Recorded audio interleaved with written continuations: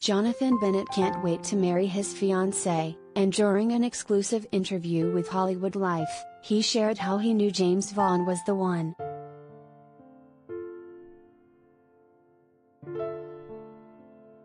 When you know, you know.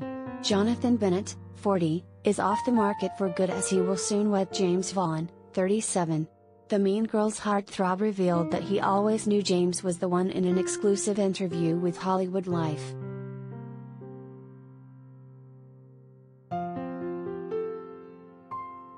Honestly, from the moment I met him, I saw him before I went on set at his show and I actually asked his producer am I about to meet my husband.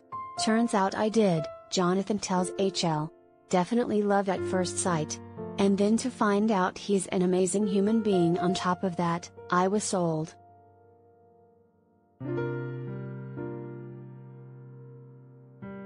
The Lovebirds have been dating since 2017 and went Instagram official Halloween of the same year.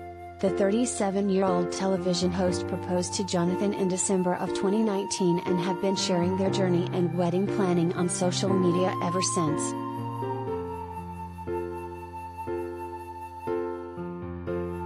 With any major life event, there may be some challenges along the way. As Hollywood Life previously reported, Jaymes admitted that he struggled to find the perfect ring and opted to reach out to Kay Jewelers to create a custom design, with the hopes of eventually being able to offer it to everyone in the LGBTQ community. That's why I first reached out to Kay when I was trying to find a ring to propose to Jonathan and I couldn't find anything, Jaymes admitted.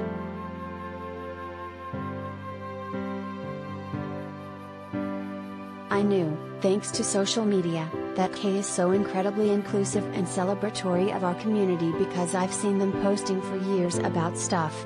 And I decided that's who I want to partner with in creating something that would exist beyond just for Jonathan and I, but that would exist for our community. And from the jump, I feel like I've had their support. As for the ring itself, it has a 14K white gold band with a half carat of round cut diamonds adorning the profile on one side of the ring, it's absolutely stunning.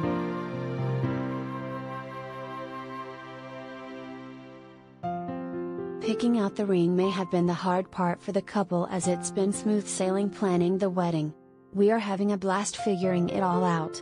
We are getting married next year in Mexico at Unico 20 degrees 87 degrees Hotel Riviera. All of our friends and family are coming down to spend the week with us there, Jonathan said. For most of them, it will be the first time they all meet. So we are super excited about that. Because once we say I do, we are all one family after that.